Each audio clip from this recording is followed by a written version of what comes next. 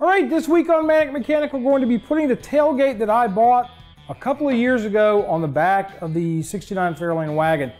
I am tired of seeing the rust out at the bottom of the old gate.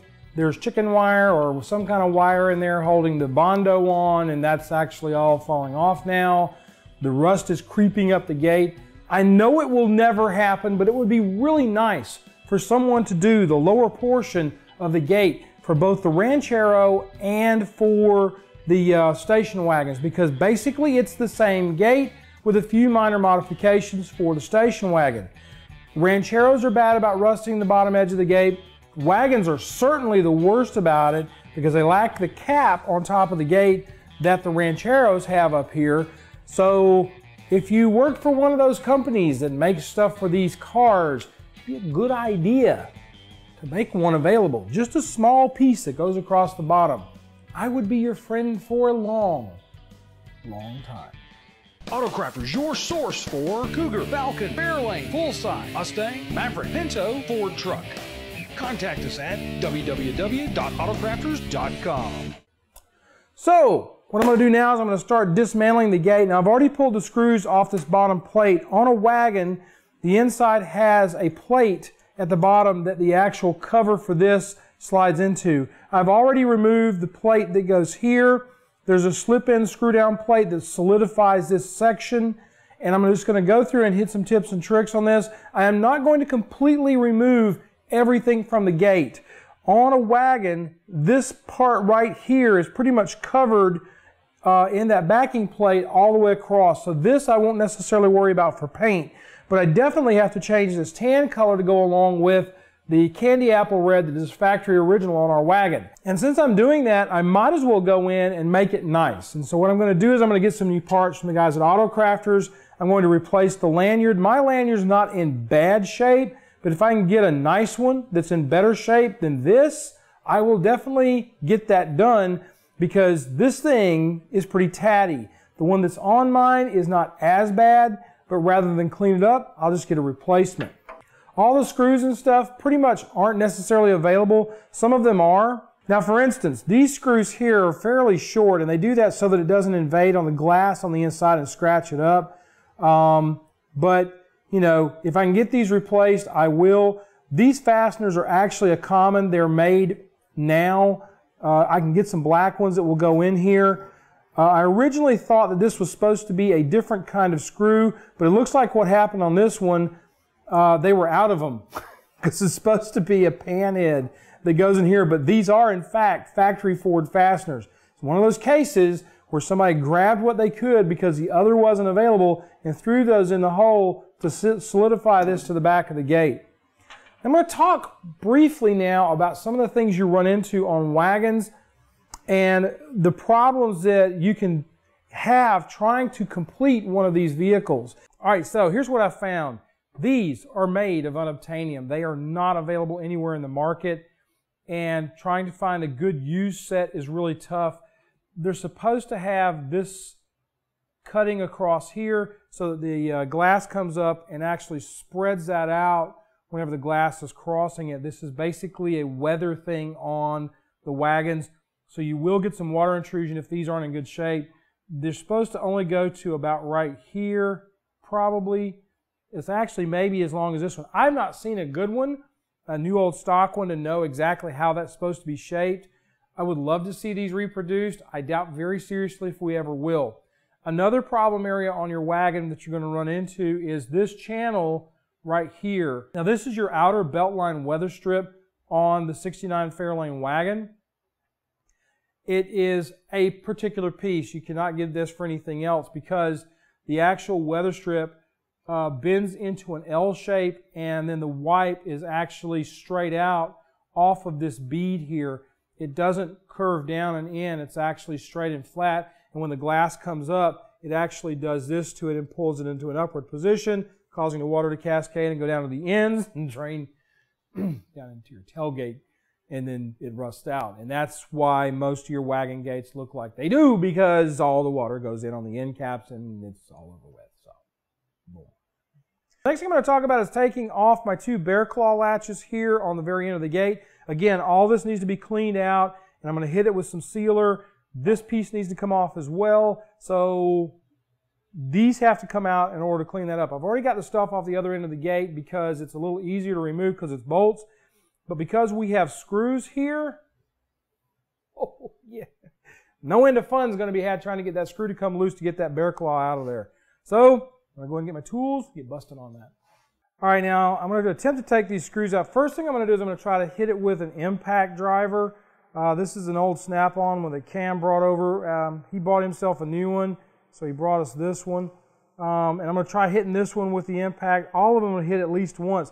If it doesn't take, I'm not going to keep banging on it. I'm going to try something else.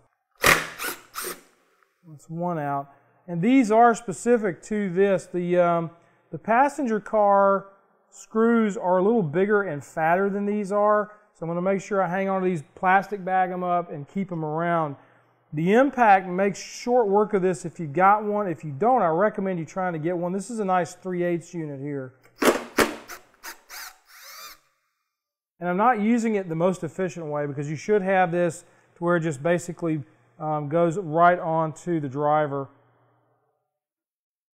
Got one more here.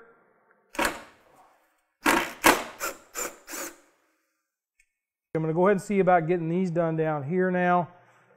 These are the ones that are always the problem. And the bad thing is, is that Ford kindly put one in the very bottom on this particular latch assembly. On the other gate, I have not been able to get that one out um, because it is just rusted in place. Anything that's in the very bottom of one of these tailgates can be a problem just simply because all the water sits down here. I hope that one didn't just strip out.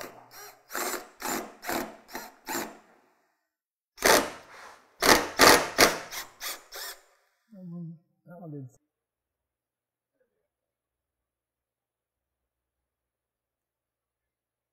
I am just about out of butane on this.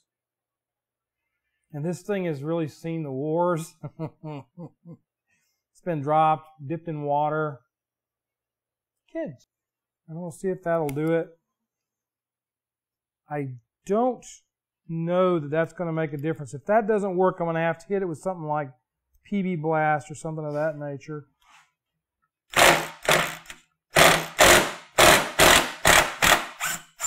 Well, there's a lucky moment in history right there, folks. I am not touching that screw. And one thing I'll tell you when you're doing this sort of thing is to use the right drill bit for it.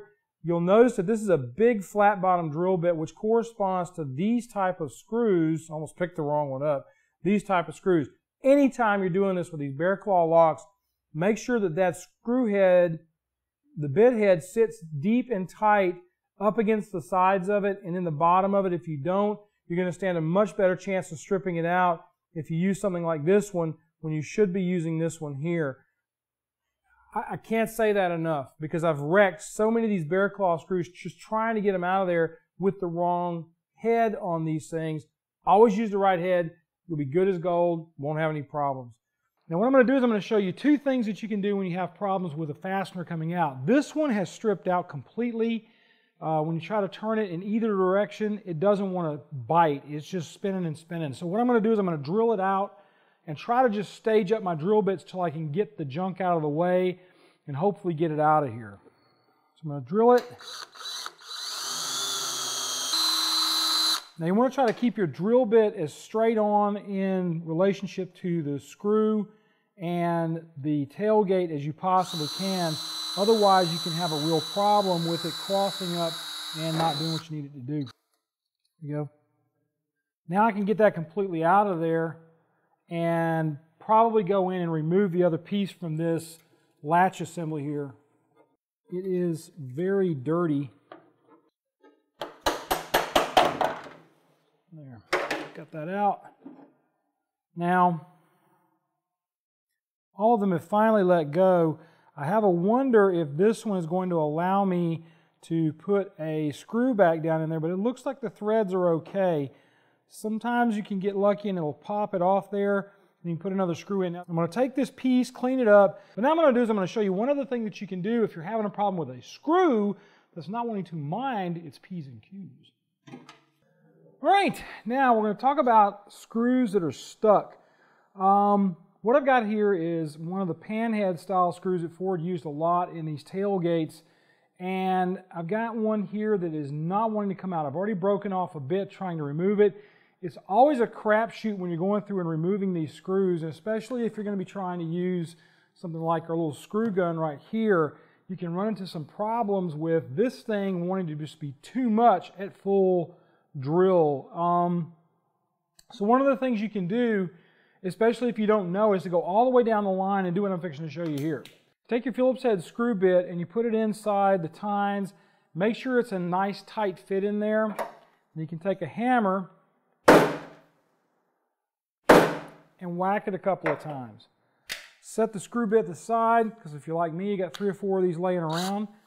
And what you'll want to do is you'll want to set your drill motor to ratchet uh, at a lower speed or lower setting. Like on ours, I usually put it around a 12, and that's good enough to give it a ratcheting effect to possibly break loose the screw even more. The hammer should knock it loose enough. Yeah, see, it came right on out. Sometimes, though, you may need that ratcheting effect, and what I'll do is I'll try to hold on to it and show you what I'm talking about. Knock that bit out. That motion right there, putting a, a, banging motion on this can make that come loose. Okay, now I've got that out, and I can figure out what I need to do in order to replace this. Now I've got something that I picked up a long time ago. This is a piece of NOS um, felt for the later model Broncos, the uh, 78 on up. This is new old stock. I am going to try to work with someone out there in order to get these uh, tailgate is reproduced. But right now, this particular bend right here, this large L that had this lip right here on it, is just not out there. No one's carrying anything like that. So what I'm going to do is I'm just going to kind of lay this in and start working with it off camera after I start doing my paint work. So I'm going to go ahead and get all of this painted up, and then I'm going to go in and actually work on that. All right, folks, that's our show for this week. Do yourself a favor though, go out and subscribe to the channel. Hit the notification bell to be notified every time a fresh video is up. We put videos up pretty much every week now with Manic Mechanic and with Auto Restomod, so you want to check those two out. Um, also, do yourself a favor and like the video or dislike the video with a thumbs up or a thumbs down just lets us know what you think about it in short form. If you want to talk to us in long form, please go ahead and put a comment in the section below. I will answer questions. I will also chat back and forth with you. If you have a problem, you can also email us. That stuff is in the description underneath all of this. Um, also, check out the description for our Patreon account. We have started that thing up with Gasoline Media.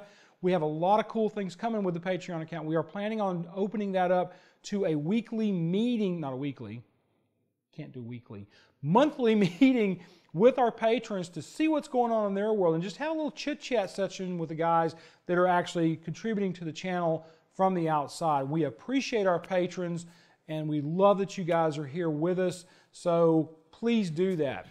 And with all of that said, and it was a lot, you guys have a great week. We'll see you on down the road. Won't we, Petey? Get mad enough to leave. I sense that it won't be for a while.